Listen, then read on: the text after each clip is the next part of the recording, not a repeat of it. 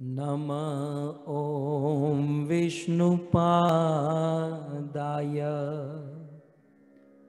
कृष्णपृष्ठाय भूतले।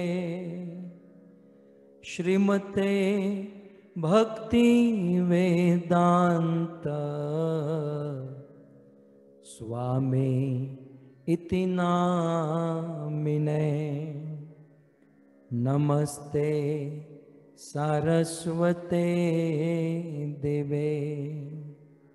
गौरवाणी प्रचारिणे। निर्विशेष शून्यवादी। पाश्चात्देशतारिणे पाश्चात्देशतारिणे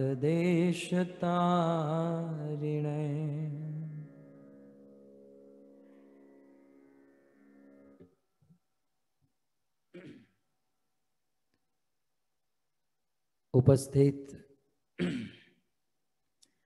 भगवत कथा अनुरागी पधारे हुए भक्त वृंद कई दिनों के बाद हमारे न्यू जर्सी के भक्तों का दर्शनामृत प्राप्त करके हृदय में बड़ा आनंद और उल्लास हो रहा है। जैसे कि रामचंद्र प्रभु ने निवेदन किया कि भागवत कथाएँ कंटिन्यू चल रही हैं। आज सुबह ही भागवत कथा का षष्ठ दिन समाप्त हुआ था।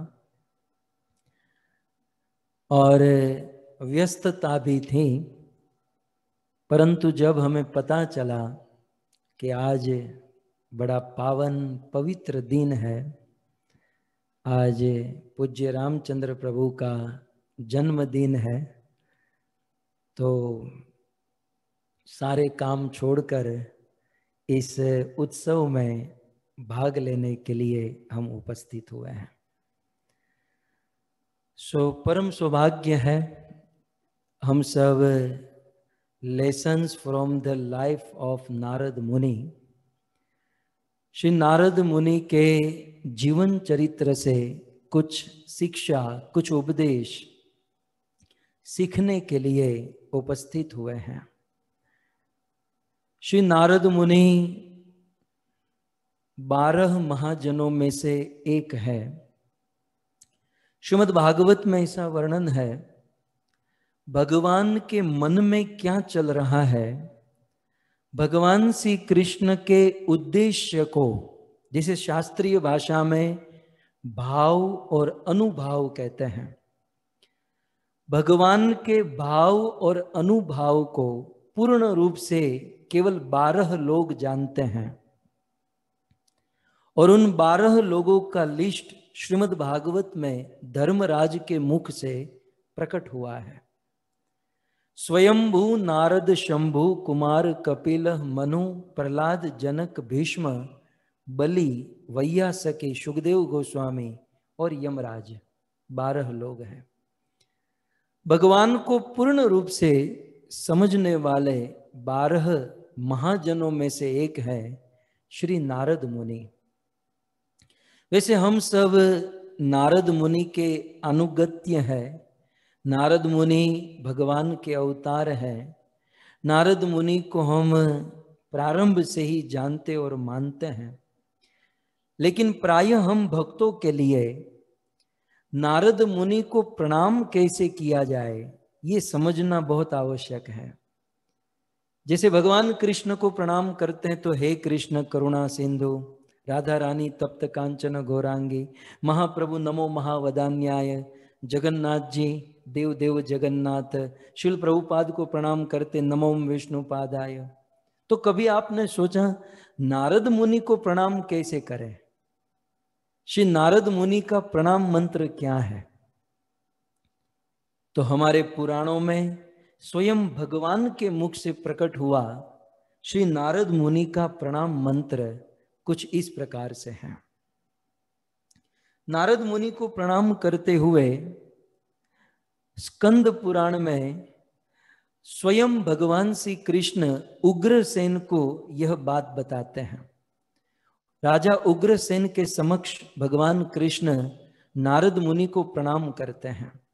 यद्यपि नारद जी कृष्ण के अवतार हैं, लेकिन कभी कभी होता है ना कि शिष्य चेला कुछ इतना बड़ा काम कर जाता है कि गुरु को भी प्रणाम करने का मन होता है। नारद मुनि कुछ इस प्रकार से हैं। नारद मुनि का ये प्रणाम मंत्र है। उत्संगात ब्रह्मणो जातो। यस्या हन्ता न वीद्यते। अगुप्तश्रुतिचारित्रं नारदं तं न नारदं तं नमाम्यहम् स्वयं भगवान् कृष्ण राजा उग्रसेन के समक्ष प्रणाम करते हुए कहते हैं नारदम तम नमाम्यहम। हम उस नारद मुनि को नमस्कार करते हैं। नारद मुनि को प्रणाम करते हैं। कथम भूतम नारद, कैसे है नारद? तो तीन बात यहाँ पर हुई। सबसे पहले, उत्संगात ब्रह्मणो जातो। नारद मुनि का जन्म किसी पुरुष और स्त्री के रज वीर्य से नहीं हुआ। नारद मुनि का जन्म हमारी तरह नहीं। श्री नारद मुनि का जन्म प्रथम लाइन में कहते हैं, उत्संगात। उत्संगात माने प्रकट, जन्म। श्री नारद जी का जन्म कैसे हुआ? तो उत्संगात ब्रह्मणो जातो। श्री ब्रह्मा जी के उत्संगात गोद से नारद मुनि का जन्म हुआ। उत्संगात माने गोद, जातो माने जन्म। सो ब्रह्मा के गोद से श्री नारद मुनि प्रकट हुए। एक। दूसरी बात कहते हैं, यस्या अहमता न विद्यते।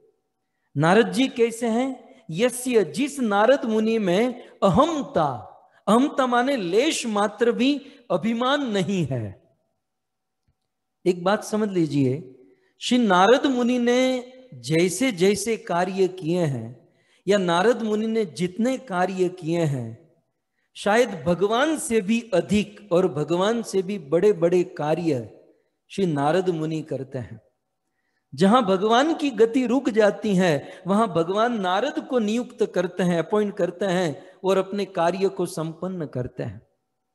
भगवान से भी अधिक, भगवान से भी बड़े कार्य नारद मुनि करते हैं, लेकिन फिर भी यस्य अहमता न विद्यते जिस नारद मुनि के मन में लेश मात्र भी अहमता नहीं अभिमान नहीं है।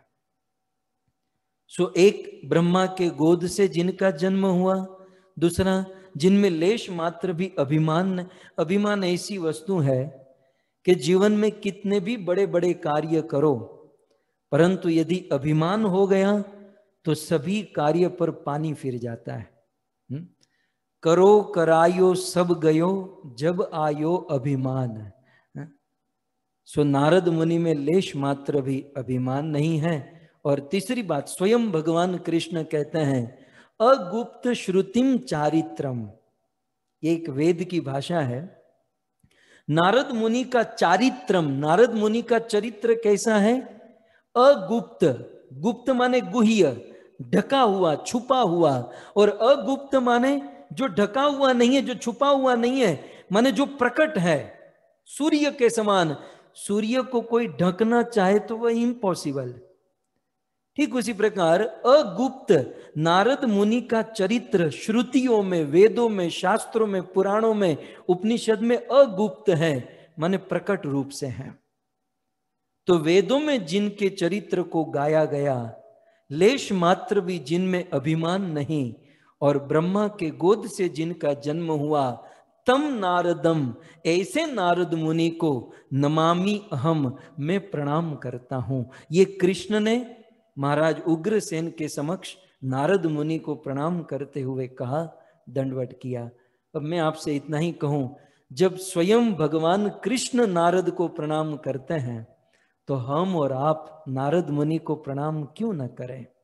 इसलिए इस श्लोक को नोट कर लीजिएगा। जब भी नारद मुनि की बात आती है, जब भी नारद जी का जन्म, जब भी नारद जी कहीं पर भी, और वैसे तो हमारी परंपरा में ही नारद है तो नारद जी को इस मंत्र से, इस श्लोक से प्रणाम किया जाता है। सो आइए, नारद मुनि को प्रणाम करते हुए इनके चरित्र को हम सब श्रवण करें। जैसे हमारी कोई योग्यता नहीं है कि इतने ऊँचे चरित्र में इतने ऊँचे चरित्र का वर्णन हम लोग करें।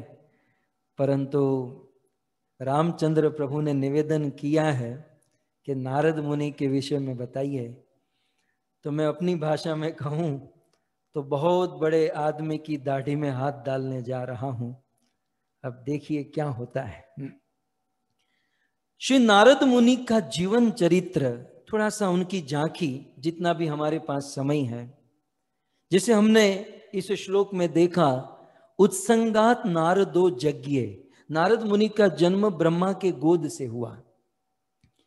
लेकिन हम जिस नारद मुनि को जानते हैं, मेरे पीछे आप जो नारद जी को देखते हैं, हाथों में वीणा लेकर भगवान का नाम गाते हैं, नारद मुनि बजाए वीणा, राधिका रमन नाम है। जिस नारद को हम आप जानते हैं ये नारद मुनि का चौथा जन्म है। ब्रह्मा जी के गोद से नारद मुनि का प्रथम जन्म हुआ, परंतु हम जिस नारद मुनि को जानते हैं, वे नारद मुनि का चतुर्थ जन्म है।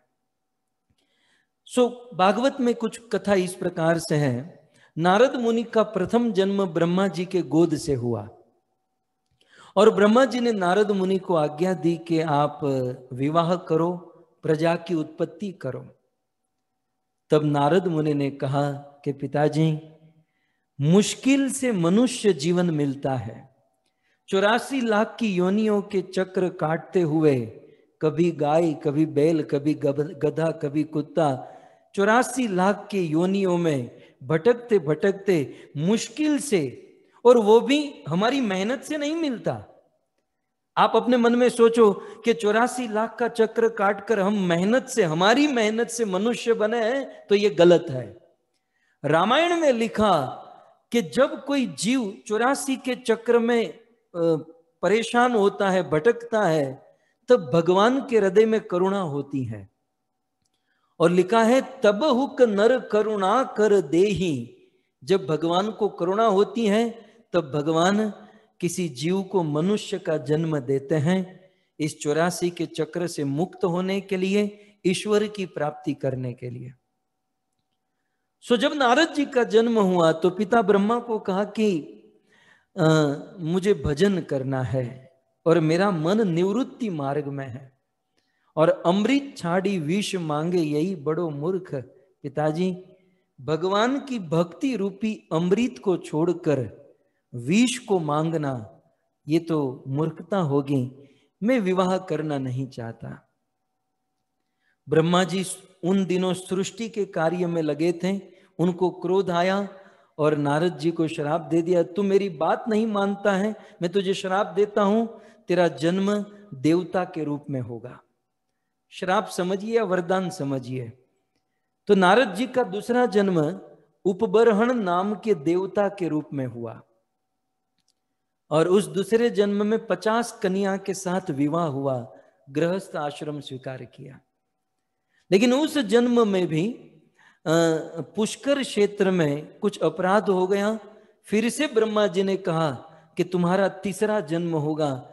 तब नारद जी का तीसरा जन्म, द्रुमिल गोप के वहाँ, चतुर्थ जाति, किसी शूद्र के वहाँ, पिता का नाम द्रुमिल गोप और माता का नाम कलावती।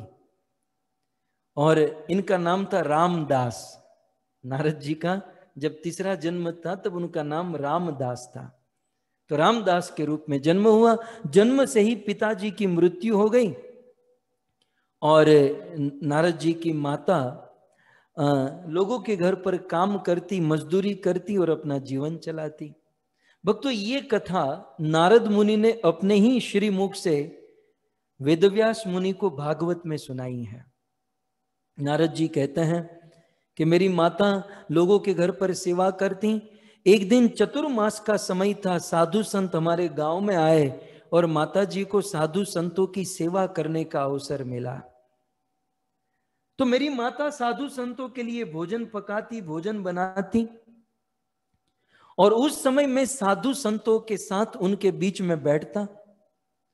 और और साधु तो क्या? साधुओं के लिए क्या? साधुओं को था जीवन केवल कृष्ण नाम, कृष्ण कथा। साधुओं के बीच में बैठकर मैं कृष्ण कथा सुनता था, कृष्ण का नाम लेता था। और साथ ही साथ साधु संत प्रसाद ग्रहण करें तो प्रसाद ग्रहण किए हुए साधुओं का जूठन, वो महा महाप्रसाद में ग्रहण करता था। भक्तो, एक बात समझ लीजिएगा कृष्ण भक्ति या कृष्ण प्रेम प्राप्त करने के लिए तीन वस्तु जो है ना, बहुत बल प्रदान करती है। भक्त पद रज, भक्त पद जल और भक्त भुक्त अवशेष तीन महाबल। शुद्ध भक्तों के चरणों की रज, शुद्ध भक्तों के चरणों का जल और शुद्ध भक्तों का उच्चिष्ट। और इसीलिए हमारे नरोत्तम दास ठाकुर ने बहुत सुंदर कहा श्री नरोत्तम दास ठाकुर कहते हैं, वैष्णवेर उच्चिष्ट। वैष्णवेर उच्चिष्ट, ताहे मोरे मन निष्ठ। वैष्णवेर नामे ते उल्ला आस वैष्णवेर पद दुली ताहे मोरे स्नान करी। तर्पण मोर वैष्णव नाम श्री नरोत्तम दास ठाकुर कहते हैं कि वैष्णवेर उच्चिष्ट। वैष्णव का उच्चिष्ट, वैष्णव का खाया हुआ। देखिए, भगवान जब भोग ग्रहण करते हैं, तब वो प्रसाद बनता है। लेकिन कोई साधु, संत, महात्मा, कोई वैष्णव जब उस प्रसाद को ग्रहण करते हैं और जो जूठा छोड़ते हैं, वो महा महाप्रसाद माना गया है। और ऐसे वैष्णवेर उच्चिष्ट ताहे मोर मन निष्ठ। ऐसे वैष्णव के उच्चिष्ट में मेरा मन बहुत निष्ठ है। कामना करता है कि कब मुझे वैष्णव का उच्चिष्ट मिले। सो so, वैष्णवेर नामे ते उल्लास और फिर आगे इसी भजन में कहते हैं वैष्णवेर पद धूली वैष्णव के चरणों की रज ताहे मोरे स्नान करी। मैं वैष्णव के चरणों की रज से स्नान करूँ ताकि मेरे हृदय में भगवत प्रेम भगवत भक्ति उदित हो जाए। सो इस प्रकार से वैष्णवों के उच्चिष्ट की बड़ी महिमा है। नारद मुनि कहते हैं कि उच्चिष्ट लेपान अनुमोदित तो द्विजय साधु संतों के मुख से कथा सुनी और उनका उच्चिष्ट ग्रहण किया तो मैं कृष्ण का भगत बन गया। मेरे हृदय में भगवान श्री कृष्ण की शुद्ध भक्ति नाचने लगी। और एक दिन मेरे जीवन में बहुत बड़ी दुर्घटना घटी। क्या हुआ? मेरी माता की मृत्यु हो गई। माँ कलावती को सर पर डंक मारा और उनकी मृत्यु हुई और मैं बहुत दुखी हुआ और वन में चला गया और वन में जाकर क्योंकि साधुओं के मुख से मैंने सुना था कि हरि कथा और जीवन में हरि नाम लेना चाहिए, मैं हरि नाम गाने लगा। भक्तो, ये हरि नाम जो है, बहुत ऊँची चीज़ है। नारद मुनि हरि नाम गाने लगे और हरि नाम गाने से नारद जी को साक्षात भगवान कृष्ण का दर्शन हुआ। श्री नारद मुनि कृष्ण का दर्शन करके सारा दुख चला गया, शोक चला गया, भगवान को प्रणाम किया और अद्भुत जाकी नारद के मन में नाचने लगी। नारद जी कृत कृत्य हो गए। लेकिन ये दृश्य बहुत कम समय के लिए था। भगवान अदृश्य हो गए। नारद मुनि छटपटाने लगे जैसे जल के बिना मछली। हाँ प्रभु हाँ प्रभु, कहाँ गए कहाँ गए? नारद जी बड़े दुखी हुए। तब भगवान ने आकाशवाणी करके कहा कि नारद, ये तो केवल झलक थी। अब तुम साधन करो, भजन करो, तुम्हें निरंतर मेरा दर्शन प्राप्त होगा। देखिए, यहाँ से हमें एक शिक्षा मिलती है। कि जब भी हम भक्ति में प्रवेश करते हैं ना तो भक्ति के स्टार्टिंग में जो होता है, भगवान का सीधा दर्शन होता है। भक्ति की शुरुआती अवस्था में हमें भगवान सीधे दिखाई देते हैं। इवन हमें प्रत्येक भक्त के हृदय में भगवान का दर्शन, सबके प्रति रिस्पेक्ट आदर हमारे हृदय में होता है। लेकिन फिर ऐसी अवस्था आती है कि भगवान अप्रकट हो जाते हैं। भगवान हमसे साधना विधि भक्ति हमसे आशा रखते हैं। सो बीच वाली अवस्था है, उसमें स्ट्रगल है। और साधन भजन करते करते जब हम प्योर हो जाएँगे, शुद्ध हो जाएँगे, तब भगवान पुनः दर्शन देंगे। सो नारद मुनि तीसरे जन्म में भगवान की शुद्ध भक्ति किए, खूब भजन किए, और वह तीसरा जन्म जब देह छूटा, तब उनका चौथा जन्म नारद के रूप में हुआ। और ये नारद मुनि भगवान श्री कृष्ण के मनो अवतार माने गए। मानो भगवान कृष्ण का मन ही नारद मुनि के रूप में प्रकट हो गया। भगवान श्री कृष्ण के मन में जो भी इच्छा है, वे इच्छा नारद मुनि बिना कृष्ण के बोले पूछे, वे पूर्ण करते हैं। सो इस प्रकार से नारद मुनि का यह चौथा अवतार नारद के रूप में श्री नारद मुनि के जीवन से हमें बहुत सुंदर सीख मिलती है। सबसे पहली बात हम हनुमान चालीसा में पढ़ते हैं सुनते हैं चारों युग पर ताप तुम्हारा। रामचंद्र प्रभु के पीछे हनुमान जी है तो मुझे याद आ रहा है। सो so, हनुमान जी के विषय में ना चारों युग पर ताप तुम्हारा। हनुमान जी का प्रताप चारों युगों में है। ठीक उसी प्रकार नारद मुनि का प्रताप नारद मुनि की लीला भी चारों युगों में है।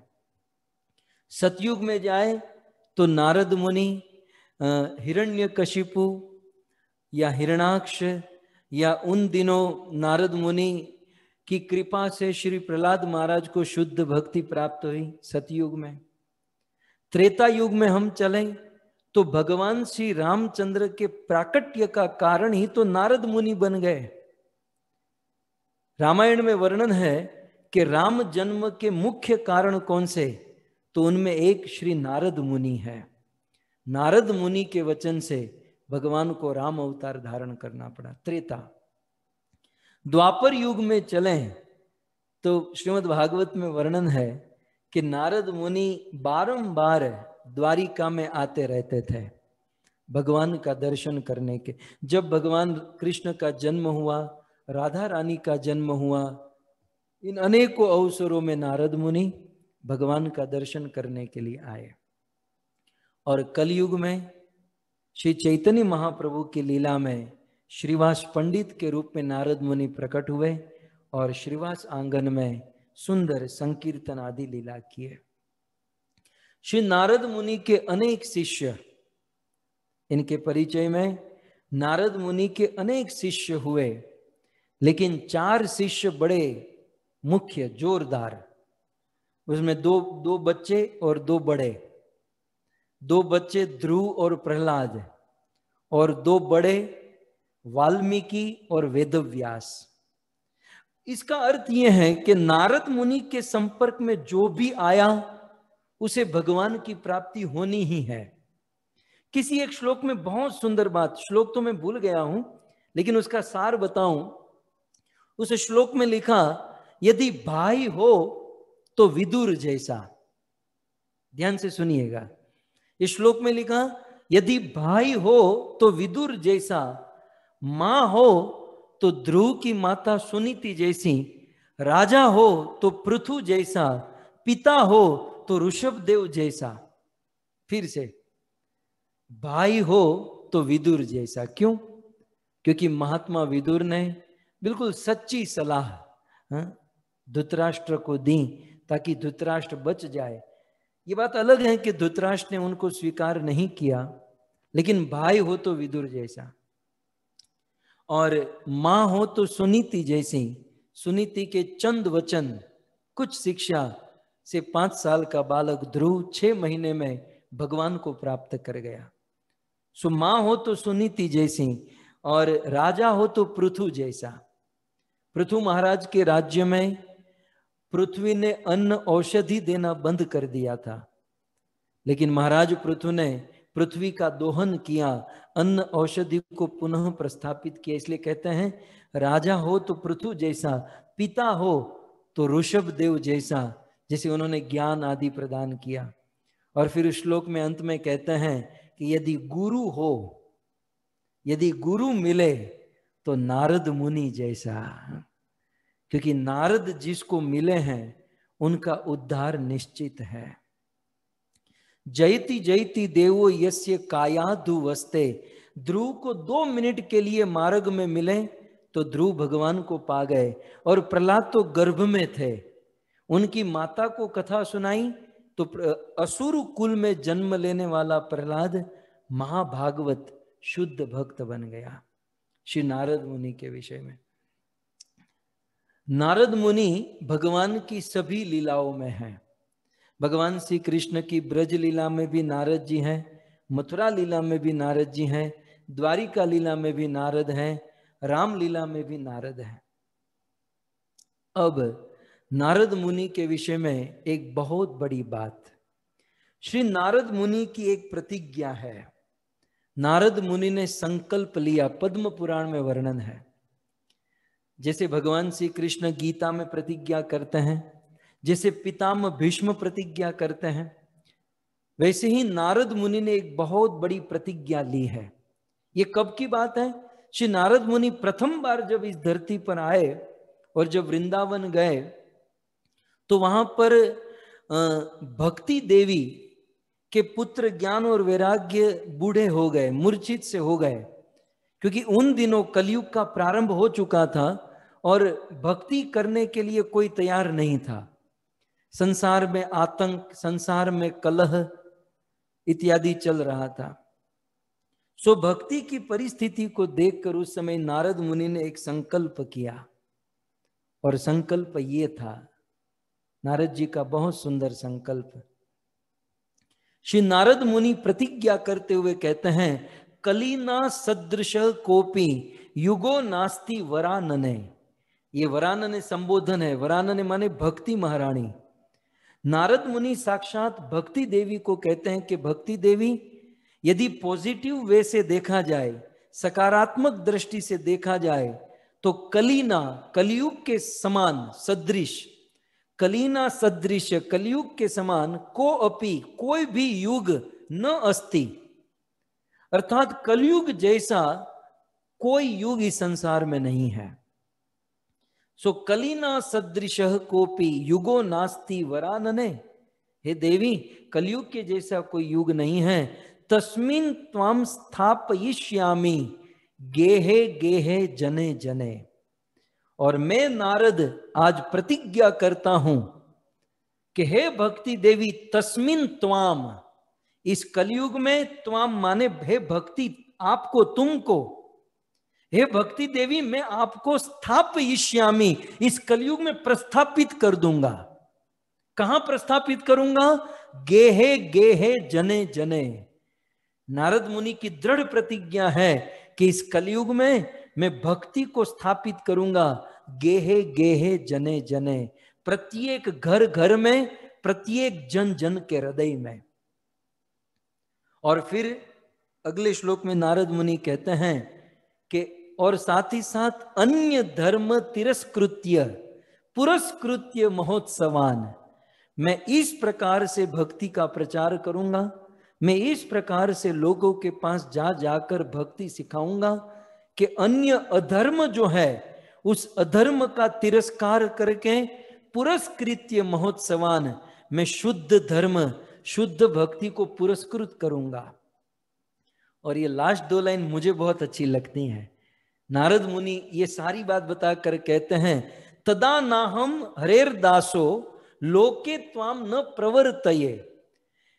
हे भक्ति देवी, मैंने जो अभी आपको कहा कि गेहे गेहे जने जने सब जगह पर सबके हृदय में तुम्हें प्रस्थापित कर दूँगा। लोके त्वाम न प्रवर्तिये थे लोक में यदि मैं आपका प्रवर्तन नहीं करूँगा, यदि मैं भक्ति का प्रचार सभी जगह पर सभी जन लोक में नहीं कर पाऊँगा तो तदा ना हम हरेर दासो तो मैं हरि का दास नहीं कहलाऊँगा।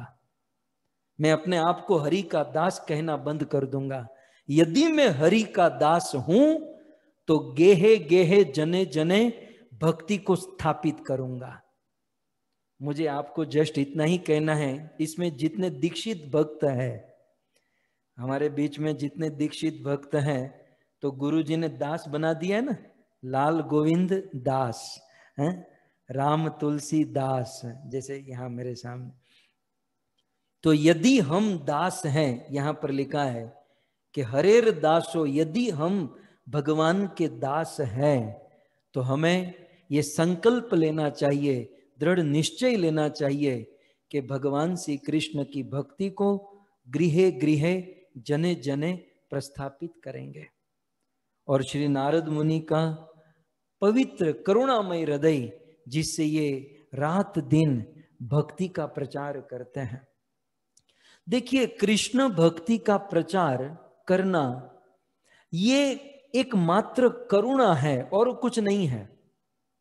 शुद्ध भक्त, नारद जी की परंपरा के भक्त, जब भगवान श्री कृष्ण की भक्ति दूसरों को सिखाते हैं, उनमें भक्तों को क्या मिलेगा?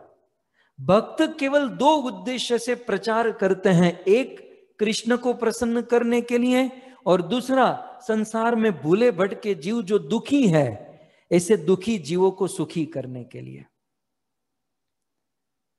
तो इस प्रकार से श्री नारद मुनि ने अपने करुणामय हृदय से ये प्रतिज्ञा की और प्रतिज्ञा करके श्री नारद मुनि रात दिन विचरण करते रहते हैं कृष्ण भक्ति का प्रचार करने के लिए। एक बार क्या हुआ? श्री नारद मुनि बद्रीनाथ धाम में पहुँचे और वहाँ पर उनको सनत कुमार मिले। तो कुमारा ऊंचू सनत कुमारों ने नारद मुनि को कहा कथम ब्रह्मन दीन मुख। हे ब्रह्मन, हे ब्रह्मर्षि नारद, कथम दीन मुख? आप दीन मुखी मतलब आप दुखी क्यों हो? कुतः चिंता तुरो भवान? हे नारद जी, आप चिंता तुर क्यों हो? त्वरितम गम्यते कुत्र कुतस्वागमनम तव। और इतने वेग से आप कहा जा रहे हो? तो पद्म पुराण की ये कथा है, सनत कुमारों ने नारद मुनि को कहा कि नारद जी, आप दुखी क्यों हो? आप चिंतित क्यों हो? तो इस श्लोक से आप इतना समझ लीजिए, नारद जी चिंतित है, नारद जी दुखी है। यदि मैं आपको निवेदन करूँ तो श्री चैतन्य महाप्रभु सनातन गोस्वामी से कहते हैं, कृष्ण भक्त निष्काम अत एव शांत। भगवान श्री कृष्ण के भक्त निष्काम होते हैं, इसलिए उनके जीवन में शांति और सुख होता है। लेकिन नारद मुनि के जीवन में चिंता देखी गई, दुख देखा गया तो क्या नारद मुनि कृष्ण के भक्त नहीं है? तो यहाँ पर निराकरण यह है, नारद मुनि कृष्ण के भक्त भी हैं और नारद मुनि को चिंता भी है। लेकिन भक्तों, नारद जी को अपनी चिंता नहीं है, नारद जी को संसार की चिंता है। आचार्यों ने यहाँ पर बहुत सुंदर सिद्धांत दिया जो व्यक्ति रात दिन अपनी चिंता करता है वो तो भगवान से दूर हो जाता है कई बार कुछ लोग कहते हैं ना भाई हमने अपना कर लिया है આપણે આપણું કરી લીધું છે मैं मेरी पत्नी का ध्यान रखता हूं बच्चों का ध्यान रखता हूं मेरा फैमिली परिवार ये तो कुत्ता भी करता है ये ये कोई बहुत बड़ी बात ये बहुत बड़ा पहाड़ तोड़ नहीं दिया इस संसार में वास्तव में हम कुछ करना चाहते हैं तो वहाँ से बाहर निकलना होगा और परोपकार करना होगा। और परोपकार, लोगों के ऊपर उपकार, लोगों के दुख को, चिंता को दूर करना होगा।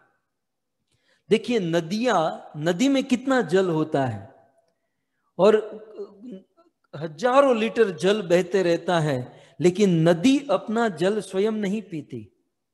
गाय का दूध, गाय अपना दूध स्वयं नहीं पीती। वृक्ष अपना फल स्वयं नहीं खाते। ठीक उसी प्रकार महात्मा का जीवन अपने लिए नहीं होता वह दूसरों के लिए होता है। दूसरे शब्दों में, जो दूसरों के लिए जीता है, जो दूसरों पर उपकार कर, अपना जीवन जैसा हो वैसा। जैसे मोमबत्ती स्वयं पिघल जाती है, लेकिन दूसरों को प्रकाश देती हैं। अगरबत्ती स्वयं जल जाती हैं, लेकिन दूसरों को सुगंध देती हैं। वैसे महात्मा अपने जीवन की ओर नहीं देखता वो दूसरों पर उपकार करता है। श्री नारद मुनि को ये चिंता जो है वो अपनी नहीं है, वो जगत के लोगों की चिंता है। कई बार हमारे भक्तिमय जीवन में भी कुछ भक्तों के जीवन में चिंता होती है, लेकिन वो चिंता प्रचार के कारण होती है। वो दूसरे, अन्य जीवों का कल्याण कैसे होगा, अन्य जीवों का दुख कैसे दूर करेंगे, इसलिए भक्त चिंता करते हैं। और सिद्धांत ये है जब हम दूसरों के लिए चिंता करते हैं ना तो हम भगवान से निकट हो जाते हैं। भगवान हमारे बहुत करीब आ जाते हैं। और जब हम हमारे लिए चिंता करते हैं तो भगवान हमसे दूर हो जाते हैं। सो नारद मुनि रात दिन यही सोचते हैं कि मैं कैसे दूसरों की चिंता को दूर करूँ और और जब व्यक्ति कहीं का नहीं रहता, किसी का नहीं रहता, तब नारद उनको शरण देते हैं। तत्कालीन याद आ रहा है, रामायण में कथा है कि सीता राम दोनों चित्रकूट में मंदाकिनी की खल खल खल खल धारा बह रही हैं और स्फटिक शिला, एक पत्थर की शिला पर राम और सीता बैठे हैं। निर्जन स्थान था और उस समय भगवान रामचंद्र ने सीता के बालों में बेणी डाली। तो कोई मर्यादा भंग नहीं हो रही थी, निर्जन स्थान और सब कुछ ठीक था। उसी समय इंद्र का पुत्र जयंत वहाँ पर आया और जयंत ने देखा कि ये भगवान हो सकते हैं, जो किसी स्त्री के बालों में, सीता के बालों में बेणी डाले। ये भगवान नहीं। यदि भगवान है तो परीक्षा लूँगा। वो जयंत कव्य का रूप बनाकर आया, सीता जी के चरणों में चंचुपात किया, सीता जी के चरणों से खून की धारा बहने लगी और भगवान रामचंद्र आक्रोश में आ गए। रामचंद्र ने सोचा मुझे मारा होता तो क्षमा कर देता सीता को मारा। प्रेरित मंत ब्रह्म सर धावा। भगवान रामचंद्र वीर मुद्रा में बैठकर अपने सारंग पर धनुष का बाण चढ़ाया और जयंत के पीछे छोड़ा। वो बाण जयंत का पीछा अब जयंत को पता चल गया कि ये ब्रह्म है ये परमात्मा ये भगवान है। लेकिन कमान से बाण छूटने के बाद तो सबको बुद्धि आती है, है? कोरोना थर्ड स्टेज, कैंसर, सबसे ऊँचा स्टेज चला जाए, फिर तो सबको बुद्धि आती है। लेकिन जब जीवन स्वस्थ हो, उस समय बुद्धि आ जाए और भजन में लग जाए, ये बुद्धिमता है। जयंत आगे आगे और भगवान राम का बाण पीछे पीछे। लोक लोकांतर में जयंत अपने पिता इंद्र के पास गया। उन्होंने कहा, भगवान और सीता जी का अपराध मैं पना नहीं दूँगा। ब्रह्मा, शिव अनेकों लोगों के पास जब किसी से पनाह नहीं मिली, तब रामायणकार ने कहा, नारद देखा बिकल जयंता, लागी दया को मल चित संता। श्री नारद मुनि ने जब जयंत को देखा तो हृदय विह्वल हो गया और नारद जी ने जयंत को उपाय बताया, यदि इस बाण से मुक्त होना है तो तुम्हें क्या करना है? नारद मुनि, संसार में जब कोई व्यक्ति कहीं का नहीं रहता, उसे शरण नारद मुनि देते हैं। और नारद मुनि भक्तों का निराकरण करते हैं। नारद मुनि जो जो सद आचरण वाले हैं, उनका भी उद्धार करते हैं। असत आचरण वालों के ऊपर करुणा करके उद्धार करते हैं। एक समय की बात, महर्षि गालव गालव नाम के ऋषि हुए। गालव ऋषि यमुना में स्नान कर रहे थे। और स्नान करते समय हाथ में जल लेकर सूर्य देव को ऐसे अर्धांजलि दे रहे थे। उसी समय आकाश में एक गंधर्व, चित्ररथ नाम का गंधर्व अपने विमान में बैठकर जा रहा था। और ये चित्ररथ गंधर्व जो है ना, मुँह में गुटखा खा रहा, गुटखा जानते तंबाकू खा रहा था। ये गुजरात का होगा या महाराष्ट्र का होगा। तो ये मुख में तंबाकू खा रहा था।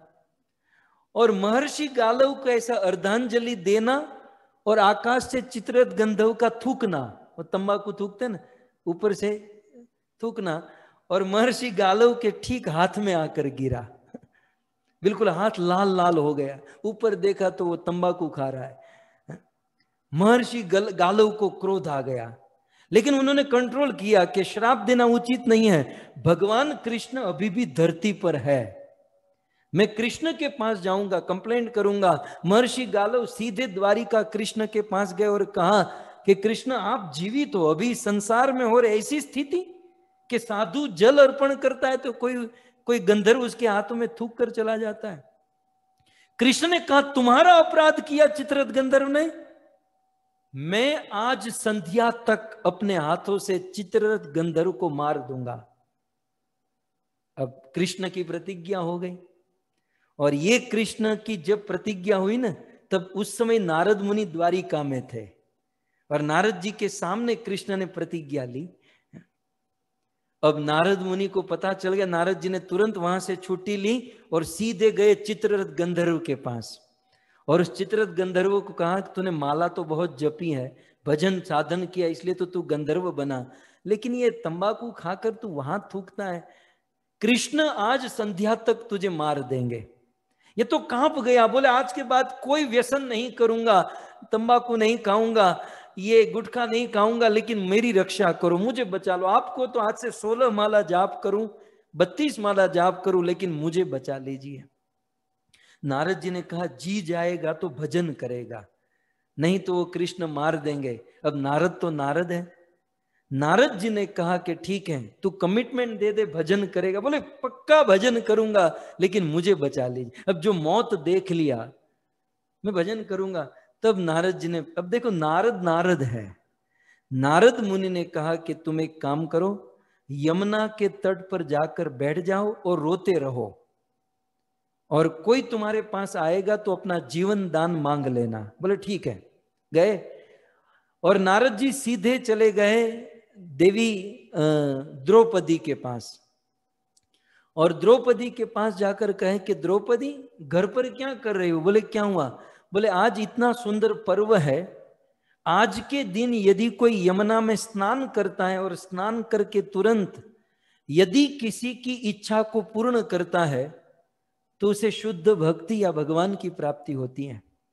तुरंत द्रौपदी यमुना में स्नान करने गई और खोज रही थी, किसी को दान करना, ये रो रहा था और कहा कि तुम्हें जो चाहिए मांगो। इसने कहा कि मुझे जीवन दान चाहिए।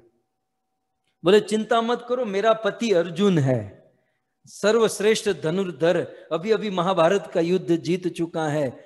मैं संकल्प करती हूँ कि चित्ररथ मैं तुम्हें मरने नहीं दूँगी। द्रौपदी चित्ररथ को लेकर अपने घर पर आई और अर्जुन को कहा कि आपको इसकी रक्षा करनी है। अर्जुन का ठीक है मैं मैं वादा करता हूँ कि मैं इसकी रक्षा करूँगा और नहीं रक्षा कर पाए तो मैं स्वयं आत्महत्या कर लूँगा। तो यहाँ पर आ, अर्जुन ने प्रतिज्ञा कर ली और कुछ ही समय के बाद अब संध्या हो ही रही थी तब तक कृष्ण पहुँचे। कृष्ण पहुँचे तो देखा कि ये अर्जुन के साथ खड़ा है। कृष्ण ने अर्जुन को कहा, अर्जुन, तुम साइड में हो जाओ, ये गंधर्व को दूर करो, मुझे उसे मारना है। क्योंकि महर्षि गालव के हाथों में ये वो गंदा किया है। अर्जुन ने कहा, प्रभु, यदि आपको इसे मारना है तो पहले मुझे मारना होगा। कृष्ण ने कहा, अर्जुन, तुम बीच में मत आओ, मुझे उसे मारने दो। अर्जुन ने कहा, मेरी प्रतिज्ञा है, मैं नहीं मरने दूँगा। अब नारद जी साइड में खड़े खड़े सारी लीला देख रहे हैं। नारद जी, जानते हैं क्या होने वाला है? सो अर्जुन ने कहा, मैं नहीं मरने दूँगा, कृष्ण ने कहा, मैं मार दूँगा, नहीं मरने दूँगा, मार दूँगा। दोनों के बीच में बोला चाली हुई। तब नारद मुनि बीच में आए और नारद जी ने भगवान श्री कृष्ण को कहा कि, प्रभु, अर्जुन के साथ आप युद्ध करोगे और यदि आप जीत भी जाओगे तो प्रभु, ये आपकी हार मानी जाएगी। अपने भक्तों के साथ युद्ध करने में हारना ही भगवान की महिमा है। फॉर एग्ज़ाम्पल हमारे घर पे छोटे छोटे बच्चे होते हैं, हम कभी कभी छोटे छोटे बच्चों के साथ खेलते हैं। उस खेल खेल में बच्चों के साथ तो हम जीत ही जाएँगे। लेकिन अपने बच्चों के साथ खेलने में हार जाना ये बाप की बड़ाई है। तो प्रभु, अपने भक्तों के सामने हार जाना ये आप ही की महिमा है। और आपने गीता में कहा, नमे भक्ता प्रणश्यति तो छोड़ दीजिए, क्षमा कर दीजिए। नारद जी ने कृष्ण को समझाया, कृष्ण ने कहा, ठीक है, अर्जुन, क्षमा करता हूँ, छोड़ता हूँ. अब महर्षि गालव देख रहे हैं कि यार, ये दोनों का तो सेटिंग हो गया, ये दोनों तो बिल्कुल मिल गए और मेरा काम तो वैसा का वैसा रह गया। महर्षि गालव खुद हाथ में जल लिए और श्राप देने चले कि मैं श्राप देकर मार दूँगा। तब देवी द्रौपदी ने कहा कि मैं पतिव्रता नारी हूँ तो इनके हाथों से जल नहीं गिरेगा। सो कुल मिलाकर नारद मुनि ने गालव ऋषि को भी मना लिया। सार ये है कि नारद मुनि सबके लिए हैं।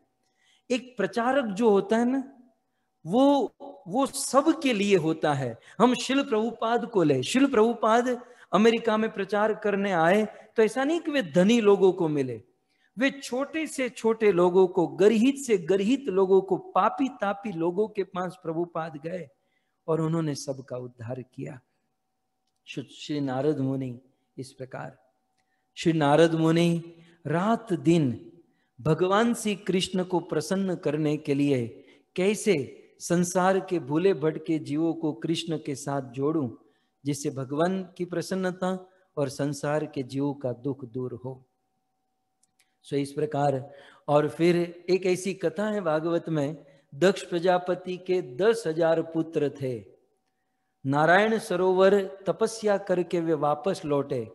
नारद मुनि मार्ग में मिले और नारद जी ने दस प्रश्न पूछे और दस प्रश्न सुनकर दक्ष प्रजापति के दसों हज़ार शिष्य जिसको हरियश्व कहते हैं, वो ब्रह्मचारी बन गए। सब डिवोटी बन गए। हालाँकि वो ब्रह्मचारी स्वभाव के थे। देखिए, एक प्रीचर जो होता है, जिसका जैसा स्वभाव होता है, वो उस स्वभाव में उस व्यक्ति को स्थित करता है। सो नारद मुनि ये निवृत्ति स्वभाव के थे। दक्ष प्रजापति के दस हज़ार पुत्र को डिवोटी बनाए। फिर एक हज़ार पुत्र शवलाशो को दक्ष ने जन्म दिया, उनको भी डिवोटी बना दिया। तब दक्ष प्रजापति ने नारद मुनि को श्राप दे दिया कि जितने भी बच्चे हैं, सबको तो डिवोटी बना रहा है। मैं तुझे श्राप देता हूँ। अब नारद मुनि चाहते तो ऐसे दस दक्ष को मार सकते हैं। ऐसे दस दक्ष को नारद मुनि श्राप दे सकते हैं। लेकिन फिर भी नारद मुनि भगवान के शुद्ध भक्त हैं। नारद मुनि ने दक्ष प्रजापति के श्राप को स्वीकार किया और उसे पॉजिटिव वे से ग्रहण किया कि नारद जी ने मन में सोचा कि संसार का उद्धार करने के लिए कभी कभी आलस आ जाती थी कि नहीं जाना है, छोड़ो फिर कभी। लेकिन दक्ष प्रजापति ने जो श्राप दिया है उससे दो घड़ी से ज़्यादा एक स्थान पर नहीं टिकूँगा या दो मुरहुत से ज़्यादा एक स्थान पर नहीं टिकूँगा तो मैं रात दिन भ्रमण करूँगा और परोपकार करूँगा, समाज के ऊपर उपकार करूँगा। तो नारद मुनि, भगवान श्री कृष्ण का ये मिशन, भगवान कृष्ण के मन में, कई बार क्या होता है, हम लोग नारद मुनि के प्रति गलत दृष्टि कर बैठते हैं। कुछ लोग कहते हैं, नारद माने दो लोग के बीच में झगड़ा लगाने वाला। ऐसा नहीं है। नारद मुनि कृष्ण के मन के अवतार, कृष्ण के मन में जो चलता है, वो नारद मुनि पूर्ण करते हैं। और उसके पीछे एक बहुत बड़ा योग होता है, एक बहुत बड़ा उपक्रम होता है। कभी कभी वह योग वह उपक्रम हम नहीं समझ पाते हैं, इसलिए नारद मुनि को दोष देते हैं। नारद मुनि जैसे शुद्ध भक्त और भगवान का अवतार कोई नहीं। मैं अंत में इतना ही कहूँगा। प्रहलाद महाराज कहते हैं हे भगवान नरसिंहदेव नरसिंहदेव भगवान ने प्रहलाद को जब कहा, तुम्हें जो चाहिए वो मांग लो। तब भगवान नरसिंहदेव को प्रहलाद महाराज कहते हैं कि, प्रभु, इस दुनिया में प्रायः ऐसे साधु संत महात्मा हैं जो केवल अपना सोचते हैं। मैं मेरा भजन करूँ, मेरा साधन करूँ, मेरी भक्ति करके मैं वैकुंठ चला जाऊँ। लेकिन है नरसिंह देव भगवान, मेरे और नारद मुनि जैसे कुछ लोग ही ऐसे हैं जो अपना विचार नहीं करते, केवल दूसरों का विचार करते हैं कि दूसरों का कल्याण कैसे होगा। प्रहलाद महाराज ने कहा, मैं और नारद, प्रभु हम लोग नरक में जाने के लिए तैयार हैं। आप संसार के सभी जीवों को वैकुंठ में लेकर जाओ और सभी जीवों का पाप हम लोग भोगतने के लिए तैयार है। ऐसी करुणा श्री नारद मुनि में है और इसीलिए भक्तों, दिल को दहला देने वाली एक बात स्वयं भगवान श्री कृष्ण ने नारद मुनि को बताई। स्वयं भगवान कृष्ण नारद जी को ये श्लोक कहते हैं। ये श्लोक श्रीमद भागवत महात्म्य का ये श्लोक है। स्वयं कृष्ण नारद से कहते हैं कि नारद, अहो नारद धन्यो सी, सच कहूँ नारद तो तुम्हारे जैसे भक्त को पाकर, नारद तुम्हारे जैसे व्यक्ति को पाकर मैं धन्य हो गया। और प्रीति स्ते निश्चला मई, नारद तुम मुझसे इतना प्रेम करते हो कि रात दिन मेरे लिए विचरण करते हो, रात दिन इतना प्रचार करते हो। नारद, मैं धन्य हूँ। कृष्ण नारद जी से कहते हैं कि नारद, न कदाचित विमुच्यामी। भगवान कृष्ण नारद जी के हाथ को पकड़कर कहते नारद नारद, तुम मुझे कभी मत छोड़ना। न कदाचित विमुच्यामी नारद तुम, मैं तो तुम्हें कभी नहीं छोड़ूँगा। कृष्ण तो नारद को कभी नहीं, लेकिन कृष्ण उल्टे नारद को कहते हैं कि न कदाचित आप मुझे कभी मत छोड़ना। चित्ते स्थास्यामी सर्वदा, मुझे सदैव अपने चित्त में रखना। तो भगवान भी, कृष्ण भी, उनका प्रचार करने वालों के सामने झुक जाते हैं। हमें भगवान को झुकाना नहीं है। लेकिन भगवान की समस्त सेवाओं में, संसार के भूले भटके लोगों को भगवान की सेवा में लगाना, ये सबसे बड़ी सेवा है। नारद मुनि के जीवन में, इस कार्य को करने में अनेकों दुर्घटना, अनेकों विघ्न आए, लेकिन नारद मुनि ने किसी भी दुर्घटना, किसी भी विघ्नों को ध्यान में न रखते हुए अपने कार्य को करते रहे। सो हम भी, यदि मूल रूप से देखा जाए तो इस नारद मुनि की परंपरा में है। भगवान कृष्ण से ब्रह्मा ब्रह्मा से नारद नारद से व्यास व्यास से मध्व, और इसी परंपरा में शिल प्रभुपाद और हम सब भक्त हैं। तो हम नारद मुनि हमारे गुरु है और नारद मुनि में जो भाव है, वो भाव हमारे अंदर आ जाए तो हमारा जीवन धन्य हो जाए। शिल प्रभुपाद ने हमें यही भाव दिया, चैतन्य महाप्रभु ने हमें यही सिखाया भारत भूमि तेहल मनुष्य जन्म जार, जन्म सार्थक करी कर परोपकार। अपना जन्म सार्थक करो, भजन भक्ति साधना करके और साथ ही साथ दूसरों पर उपकार करो। और ये उपकार आप किसी भी तरीके से कर सकते हो। ऐसा नहीं कि केवल कथा के द्वारा उपकार होता है। देखो बुक डिस्ट्रीब्यूशन ये भी एक प्रचार है, कीर्तन करना भी एक प्रचार है, ठाकुर जी की सेवा करना, आरती करना, पूजा करना अपने अपने स्टैंडर्ड से ईश्वर ने जो योग्यता दी है, उस योग्यता के अनुसार दूसरों को भक्ति में लगाए, दूसरों को भक्ति में जोड़े। और अंत में, सबसे बड़ा प्रचार तो हमारा आचरण है। हम हम हम आचरण ऐसा करें ताकि बोलने की आवश्यकता न पड़े। हमें देखकर ही दुनिया का व्यक्ति भक्त बन जाए। हम्म? तो ये है नारद मुनि के विषय में कुछ संक्षिप्त में कुछ परिचय, कुछ जानकारी और उससे मिलने वाली सीख। आज मेरा हृदय बड़ा प्रसन्न है। आप सभी भक्त सुंदर सुंदर बातें कहे तो मेरा भी बनता है। वैसे तो ये गलती हुआ कि मुझे प्रवचन दिया गया। आज का प्रवचन पूज्य रामचंद्र प्रभु का होना चाहिए। आज का प्रवचन उन्हीं का बनता है लेकिन उन्होंने अपना प्लेट मुझे दे दिया। सो so, मैं धन्यवाद करता हूँ रामचंद्र प्रभु को और सब लोग बोल रहे थे मेरे मन में भी बहुत सारी बातें आ रही थी लेकिन रामचंद्र प्रभु के जीवन में मैंने दो चीज़ सीखी है। एक रामचंद्र प्रभु के जीवन में एक गुण चाहे कैसी भी परिस्थिति आ जाए वे कभी भी विचलित नहीं होते हैं, चाहे कैसी भी परिस्थिति, क्योंकि हमारे जीवन में कुछ समय हम लोग साथ में रहे और साथ में रहकर जीवन है, कलयुग है, माया का प्रभाव, उतार चढ़ाव, सब आते ही है, जैसे नारद मुनि को चिंता हमने सुना। लेकिन कैसी भी परिस्थिति में विचलित न होना और दूसरा, रामचंद्र प्रभु में एक बहुत सुंदर गुण जो हम सबको सीखने लायक कि वे जिस व्यक्ति में जैसी कड़ा है, जिस व्यक्ति में जैसा गुण है, उस व्यक्ति को ऐसी सेवा में लगाना। यही है सफल लीडर का गुण, सफल गुरु का गुण। कि जैसी, जैसा स्वभाव, जैसी रुचि, उनको ऐसी सेवा में नियुक्त कर देना। तो हम देखते हैं, प्रभु जी इस प्रकार से कर रहे हैं। So thank you very much Ramchandra प्रभु। मैं उस दिन को भूल नहीं पा रहा हूँ। भारत में, मुंबई में तुलसी टावर में आप आए थे और हमारे पास पासपोर्ट भी नहीं था और आपने निवेदन किया था कि आप अमेरिका आइए और यहाँ आकर प्रचार कीजिए। तो प्रभु, आपके ही मेहनत से, सहयोग से आज यहाँ अमेरिका में ज़बरदस्त प्रचार हो रहा है, प्रयास कर रहे हैं। सो ये सारा श्रेय आपका है प्रभु और इसी प्रकार से सबको सेवा में लगाए रखिए और हमारे जीवन को धन्य कीजिए। सो थैंक यू, धन्यवाद। आप सभी भक्तों का, रामचंद्र प्रभु का। हरे कृष्ण, जय श्री प्रभुपाद। हरे कृष्ण। एक घंटे में नारद मुनि के गुण गाना बहुत बहुत मुश्किल है और प्रभु जी ने ऐसे भक्त के गुण गाए हैं। और before we get into questions अगर किसी को भी कोई प्रश्न हो तो हाथ उठाइएगा या चैट बॉक्स में मुझे, हमें टाइप कर सकते हो। पर उसके पहले मैं क्विक अनाउंसमेंट करूँ बिफोर पीपल ड्रॉप ऑफ़ हमारा जो प्रोग्राम है नेक्स्ट प्रोग्राम जो होगा, उसके बारे में हम जस्ट क्विकली अनाउंस करते हैं। हमारा जो वेबसाइट है इसकॉन ऑफ़ बर्गन ये हमारे वहाँ के डीटीज है, श्री श्री राधा श्याम सुंदर।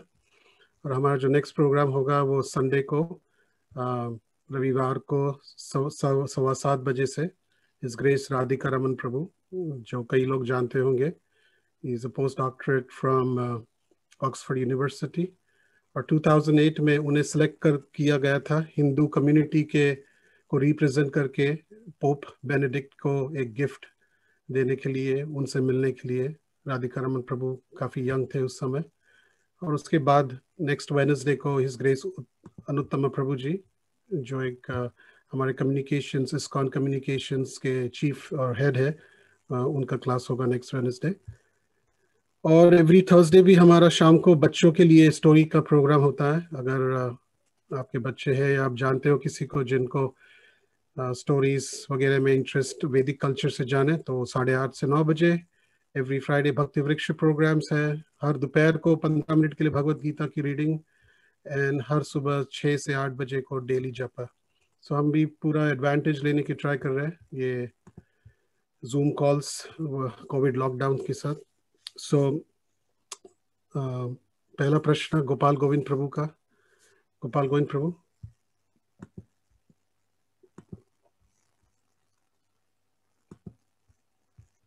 हरे कृष्ण प्रभु आपको मिलकर बहुत अच्छा लगा बहुत बहुत अच्छा लगा। शब्दों में व्यक्त करना बहुत मुश्किल है लेकिन आपके जो वाणी है इतनी सुंदर और जो व्याख्या आपने की नारद मुनि के बारे में सुनकर बहुत अच्छा लगा। आपने एक पॉइंट इसमें बताया कि जो नए नए भक्त आते हैं तो उनको देख करके ऐसा लगता है या फिर उन भक्तों के अंदर भगवान के प्रति इतना प्रेम होता है कि वो सब में भक्तों को, सब में भगवान को देखते हैं वो। तो ये बात मैंने भी अनुभव की है, जब मंदिर में जाते थे, नए भक्त आते थे, एक बार, दो बार, तीसरे, चौथी बार में उनके अंदर इतनी शुद्धता होती है उनके अंदर तो ऐसा लालच सा होता है कि काश मैं भी इनके जैसे ही भक्त हो जाऊँ।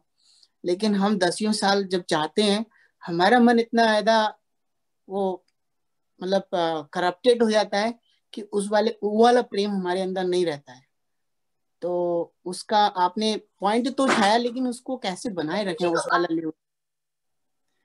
इसका पहले तो कारण खोजना चाहिए कि जब हम शुरू शुरू में भक्ति में आते हैं उस समय हमें भगवान का अनुभव होता है, अनुभूति होती है। इवन सभी डिवोटी में शुद्ध भक्त दिखाई देते हैं।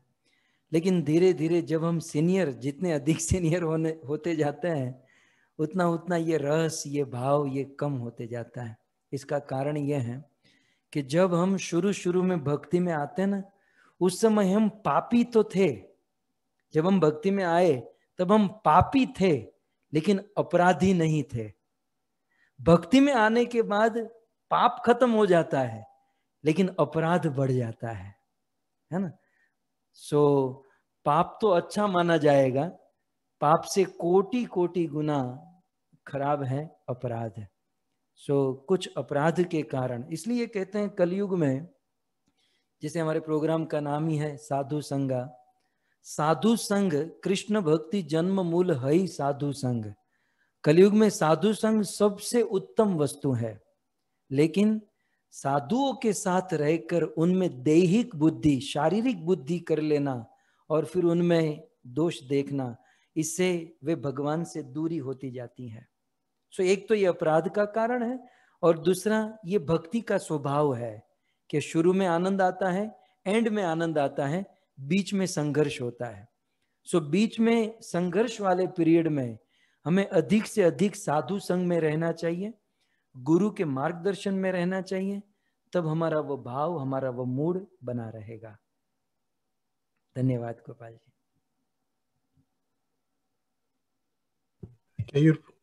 आपको कोई प्रश्न?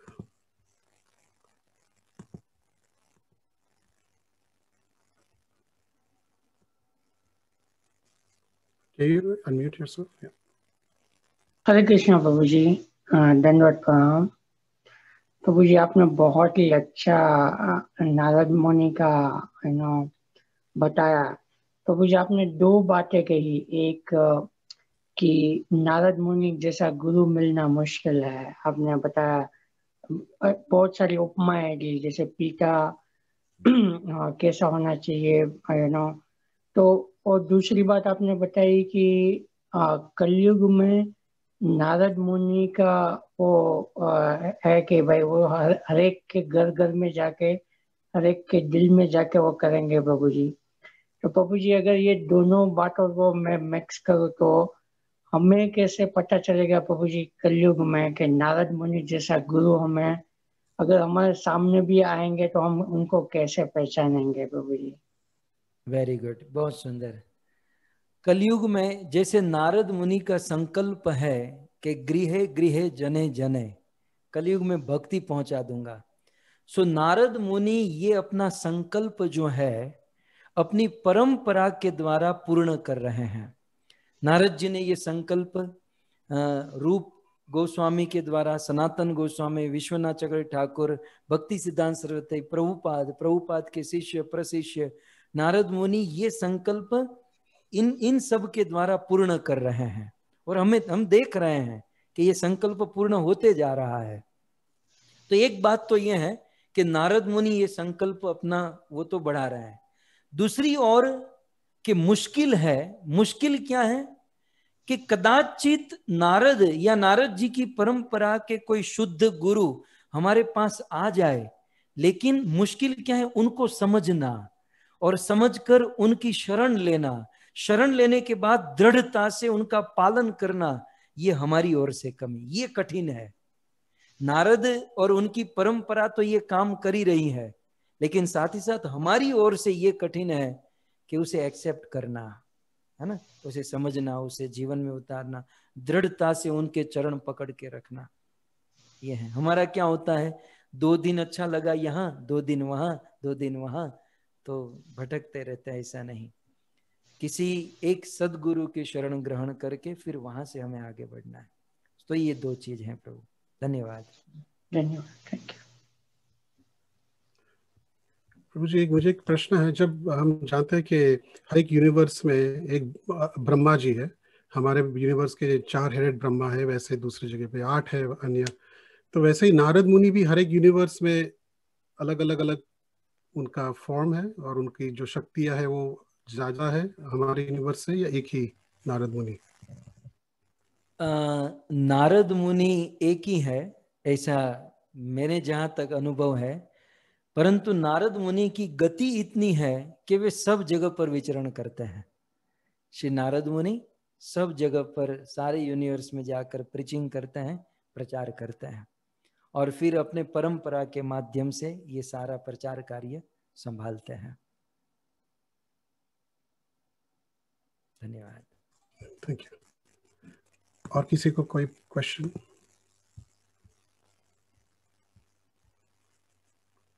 ये प्रभु जी का वेबसाइट है, अगर आप कभी गए ना हो तो लाल गोविंद दास डॉट कॉम यहाँ पे उनके सारे प्रोग्राम्स के बारे में भी जानकारी होगी। अपकमिंग प्रोग्राम्स वगैरह। और प्रभु जी आपका यूट्यूब चैनल का नाम वही Lal Govind Das yes Lal Govind Das. Okay Anand Prabhu. Video on कर पाएँगे आप। म्यूट पे है आप माता जी okay Okay, now I'm able to unmute. Thank you, Prabhuji. Uh, really nice lecture. Uh, કાયમ જ સાંભળું છું. બહુ જ મજા આવે છે. So thank you so much મારો ક્વેશ્ચન એ હતો કે તમે મને તમે એવું કહ્યું કે ચિત્રરથને સોરી ચિત્રરથને નારદ મુનિએ બચાવ્યા. પણ શું રીઝન હતું એમનું એવું કરવા પાછળ? યસ બહુ સુંદર. ભગવાન શ્રી કૃષ્ણએ જ નારદજીને ઈશારો કરેલો. કે આ ગાલવ મારી પાસે આવ્યો છે કે એને મારો? પણ કૃષ્ણને મનમાં થયું કે ભાઈ ચિત્રરથ સાધક છે ભક્ત છે. ભલે એની બુદ્ધિ બગડી ગઈ છે પણ છે તો આપણો જૂનો ભગત ને. તો હવે આ આ ગાલવ મારી પાસે આવ્યા છે કે એને મારો? હવે હું એને કેવી રીતના મના કરું? તો કૃષ્ણએ મનથી નારદ મુનિને કીધું કે તમે કંઈક સેટિંગ કરો કે જેથી મારું પણ રહી જાય અને ઓલો બચી પણ જાય. તો આ બધું નારદ મુનિ આ કાર્ય કરે છે. नारद मुनि ऐसा कार्य करते हैं जो भगवान के कंट्रोल से भी बाहर है। तब नारद जी ये सारे कार्य शुरू करते हैं। तो भगवान की इच्छा से ही नारद मुनि ने चित्र रथ को बचाया क्योंकि कहीं ना कहीं उन्होंने भक्ति की थी इसलिए उनको बचाना ज़रूरी था। यह है। Wonderful thank you so much Prabhu ji. Hare Krishna. Asta, you had a question? Hare Krishna, Prabhuji. Sorry, there was an echo.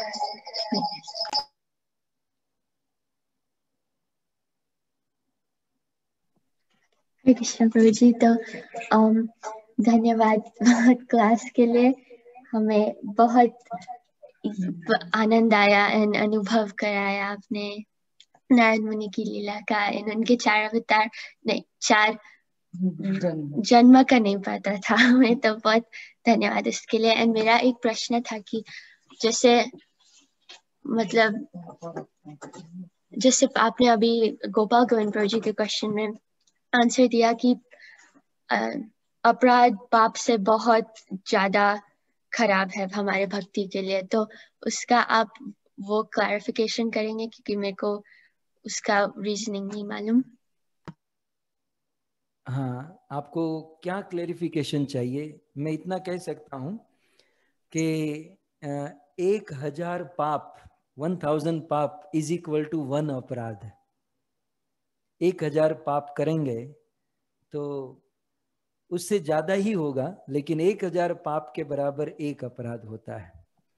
और अपराध, राध माने आराधना, भगवान की अनुभूति, अप माने उसमें रुकावट आ जाना। तो भक्ति से मिलने वाला जो सुख है, उसको उसमें रुकावट आ जाना इसका नाम है अपराध। इसलिए जब भी अपराध होगा ना तो भक्ति तो होगी। कंठी माला, तिलक, शिखा, दर्शन, सोला माला, सब कुछ होगा। अपराध का मतलब क्या है? भक्ति होगी। लेकिन भक्ति करके जो सुख मिलना चाहिए, जो आनंद मिलना चाहिए, जो प्रेम मिलना चाहिए, वो नहीं मिलेगा। ये है अपराध। तो ये है। और जी इसका जैसे एग्ज़ाम्पल क्या होगा उसमें भक्ति आई मीन अपराध एंड पाप का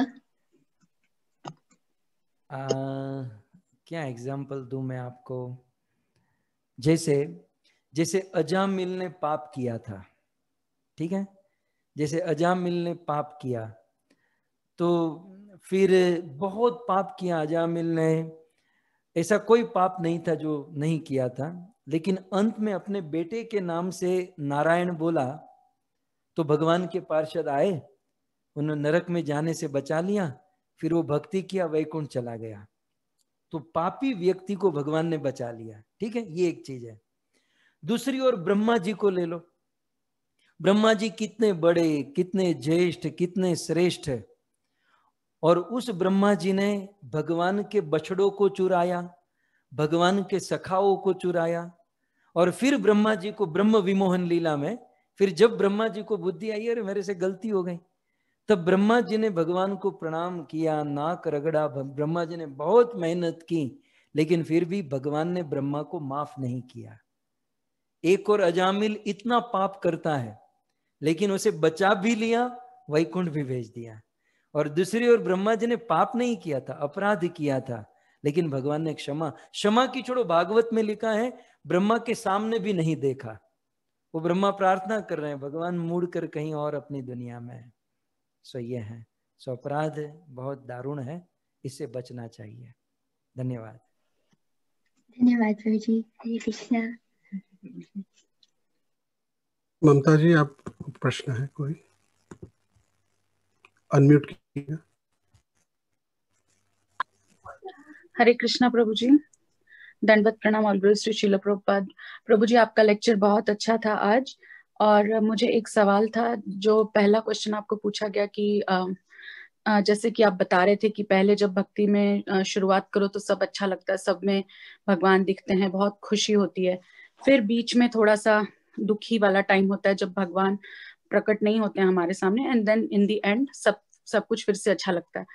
तो प्रभु जी मुझे इसमें एक सवाल था कि आ, हमें कैसे पता चलेगा कि हम बीच की स्टेज में हैं अभी या पहले के स्टेज में है? क्योंकि अभी कभी कभी ऐसा होता है कि हम खुश भी हो जाते हैं और दुखी भी हो जाते हैं। तो इट्स अ मिक्स सो हम एग्जैक्टली exactly कहाँ हैं? बीच में ही हैं या पहले ही हैं या कहाँ हैं प्रभु जी? ये तो या भगवान बता सकते हैं या हमारे गुरु बता सकते हैं लेकिन हम थोड़ा सा अंदाज़ा लगा सकते हैं कि मिक्स्ड यदि है तो समझो स्टार्टिंग हो चुका है अब मिडल में पहुँचने वाले हैं। ऐसा ही समझना चाहिए। सो so, रूप गोस्वामी ने इस पर थोड़ा सा टेक्निकल बात भक्ति रसामृत सिंधु में बताई है। रूप गोस्वामी ने क्या कहा? ये जो तीन अवस्था है ना इन तीन अवस्था को रूप गोस्वामी ने आठ भाग में डिवाइड किया। श्रद्धा साधु संग भजन क्रिया अनर्थ निवृत्ति निष्ठा रुचि आसक्ति भाव प्रेम। तो रूप गोस्वामी ने स्टार्टिंग स्टेज क्या रखा? श्रद्धा, साधु संग, भजन क्रिया। ये तीन स्टार्टिंग स्टेज है। ठीक है? और जो बीच वाला जो है ना, वो है अनर्थ निवृत्ति। ये अनर्थ निवृत्ति में अधिक टाइम लगता है। और फिर लास्ट वाला स्टेज क्या है? निष्ठा, रुचि, आसक्ति, भाव, प्रेम। ये थर्ड स्टेज है। है ना? तो श्रद्धा, साधु संग, भजन की क्रिया स्टार्ट है। बीच वाला है अनर्थ निवृत्ति और फिर निष्ठा, रुचि, आसक्ति, भाव, प्रेम। तो वहाँ पर रूप गोस्वामी ने इंडिकेट किया है कि श्रद्धा तो तुरंत हो जाती है। साधु संग कर ही रहे हैं और भजन क्रिया ये भी हो रही है। लेकिन अनर्थ निवृत्ति जो है, इसमें बड़ा टाइम लगता है। आप कहोगे कितना? दो हज़ार जन्म, तीन हज़ार जन्म, दस हज़ार जन्म, वो हमारे ऊपर डिपेंड है। आप लोगों का तो एक ही जन्म में हो जाएगा शायद, आधे जन्म में लेकिन अनर्थ निवृत्ति स्टेज क्रॉस हुआ, फिर निष्ठा, रुचि, आसक्ति, भाव प्रेम प्रेम तुरंत हो जाएगा। उसमें देरी नहीं लगेगी। तो वहाँ रूप गोस्वामी ने कहा कि सबसे ज़्यादा ये ये लंबा स्टेज है अनर्थ निवृत्ति जो बीच वाला है। सो भजन करते रहे। मैं, हम तो क्या सोचना है? चैतन्य महाप्रभु का क्या भाव है? चाहे कोई भी स्टेज हो प्रभु, हम आपका भजन करें, हम आपकी सेवा करें। है? हमारा ये भाव होना चाहिए। चाहे सुख आवे, दुख आवे, चाहे कैसे भी परिस्थिति में रखे, चाहे नरक में रखे, कहीं भी रखे, लेकिन हम आपकी सेवा करते रहें, आपसे प्रेम करते रहें। यही भाव हमारा होना चाहिए। ठीक है? धन्यवाद। दंडवत प्रणाम। Hare Krishna.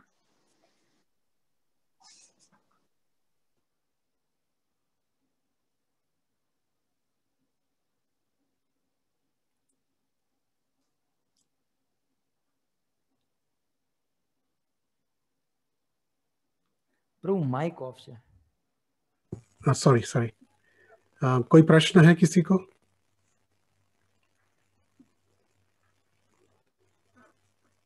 okay last question then no प्रभु को कल सुबह फिर से कथा uh, बोलनी है साढ़े दस बजे उनके लिए लेट हो गया मेरा एक प्रश्न है प्रभु जी के जो डिवोटीज भक्त होते हैं, बहुत दयालु होते हैं, कृपालु होते हैं, वो अपने रास्ते से बाहर जाके दूसरों की, को हेल्प करते हैं। नारद मुनि ने दिखाया है हर हर समय। और बाकी के युग में तो वो आते थे पृथ्वी लोक पे, पर कल युग में जान के कि वो इतने ही वॉन्ट्स टू डिलीवर वो सभी को तारना चाहते हैं। तो कलयुग में वो जब के सबसे ज़्यादा ज़रूरत है उनकी। तो नारद मुनि इस समय पे क्यों प्रकट नहीं होते? ये प्रश्न उठता है। सो so, बहुत सुंदर आपका प्रश्न है कि अन्य युग में नारद मुनि तो तुरंत नारायण नारायण टीवी में देखते ना। कहीं भी कुछ ऐसा हो तो वीणा बजा कर नारायण नारायण नारद मुनि प्रकट हो जाते तो कलयुग में सबसे ज़्यादा ज़रूरत है नारद मुनि की तो प्रकट क्यों नहीं होते? तो जैसे हमने कहा इस श्लोक के संदर्भ में प्रभुपाद ने ही लिखा है कि नारद मुनि की इच्छा कलयुग में इन सब भक्तों के द्वारा पूर्ण हो रही है। सो जब भी हम किसी शुद्ध भक्त को देखते हैं, हमें यही समझना चाहिए कि ये नारद मुनि का प्रतिनिधित्व कर रहा है। ये नारद मुनि का प्रतिनिधि है और बात भी सत्य है। और हमारी परंपरा तो नारद की ही प्रतिनिधित्व कर रही है। सो नारद मुनि का अवतार शुद्ध भक्त के रूप में है और जितने भी प्रीचर है, चाहे किसी भी प्रकार का प्रचार संसार के लोगों को भगवान के साथ जोड़ने का काम करते हैं। ये सब नारद मुनि के ही अंश अवतार। नारद मुनि ने ही वो प्रचार का वायरस उनमें डाला है, है? देखिए इस पर मैं हम तो ये करते प्रचार करते ना बड़ा विचार करते हैं कि व्यक्ति आज अपने सगे भाई को दो मिनट नहीं दे सकता लेकिन दुनिया में प्रचार के लिए अपना पूरा जीवन बिता देता है। क्यों? ये नारद मुनि की कृपा, नारद मुनि का अंश उनमें नहीं और तो और क्या है? शिल प्रभुपाद ने इतना सेक्रीफाइस किया। शिल प्रभुपाद ने इस्कॉन का इतना प्रचार किया। प्रचार करने के बाद करोड़ों की संपत्ति हुई। उनमें एक फूटी कौड़ी भी अपनी पत्नी और बच्चों को नहीं दी। समाज के लिए लुटाई। तो नारद मुनि का गुण प्रभुपाद में नहीं तो और क्या है? केवल लोक हिताय, जगत हिताय नारद मुनि का गुण इन शुद्ध भक्तों के अंदर आता है। तो जब भी कोई शुद्ध भावना से प्रीचिंग कर रहा हो तो उनमें हमें नारद मुनि की छवि को देखना चाहिए रिस्पेक्ट करना चाहिए और उसे स्वीकार करना चाहिए।